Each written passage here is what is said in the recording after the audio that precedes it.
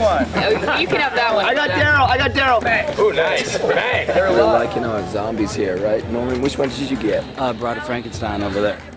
Bullet hit boom. Yep. Okay. Big day. It's a scorcher today. It's hot. All right. All cameras are rolling. All weapons are hot. Action! Enough. We are shooting what is perhaps the biggest scene of the entire season. We got shot today. we were hungry, and we're gonna go get some some food, right? Yeah. You guys, you're going from there's food. There's food. Bang. As a stunt person, there's always a certain amount of risk, otherwise it wouldn't be a stunt. Normally we CGI all that stuff, and this is the first time we've had a bunch of very big squib hits. The four stunt guys have rather big explosions on them. They're uh, shotgun blasts, bullet hits, and then they fake the uh, hit to the head, which uh, special effects will put in later. They've got bullet hits on front and back, and so the cameras are going to see it. Ladies and gentlemen, here we go. Be Mark.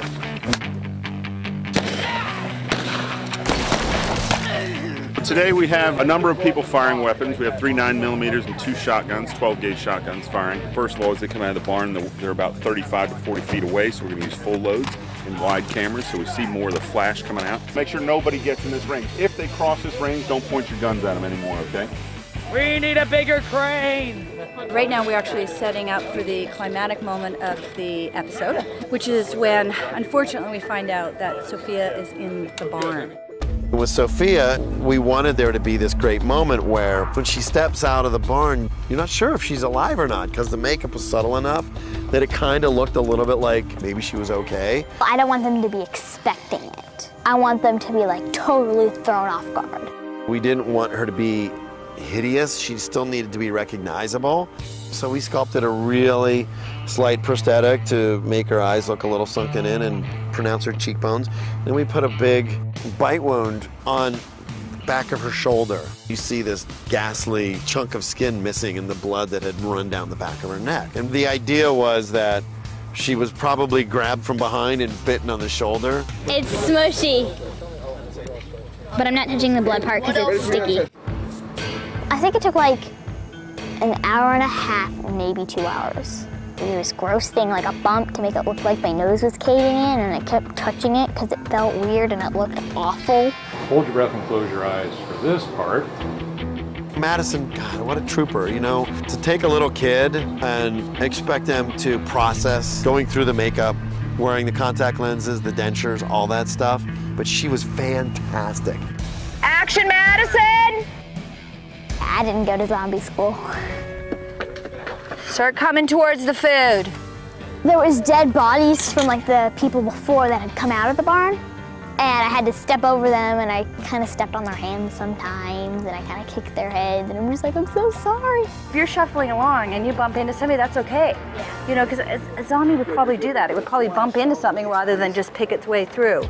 I'm just not supposed to look down. So I couldn't look down to see and step my way through. Here comes food, it's getting closer. What felt natural for me was to go faster because food was like coming at me. Slow, Madison, nice and slow. But they were telling me to go like really slow and it was hard for me to go really, really slow. But I bet it'll look good on camera. It's her ankles, though, that really get me. I just look at her little ankles, and they're just like tiny. And she's just so fragile. My girlfriend Madison gets put down today. Grown, grown very fond of Maddie, so I'm a little bummed out. It's not easy to leave your first job. It takes a piece of your heart out. Look at your growl. It's one of the most moving moments of the season because our characters have spent eight episodes building to finding her. She steps out and it changes every one of our characters. Cut it. Very nice. This was an unbelievably ambitious two days. Thank you so, so much.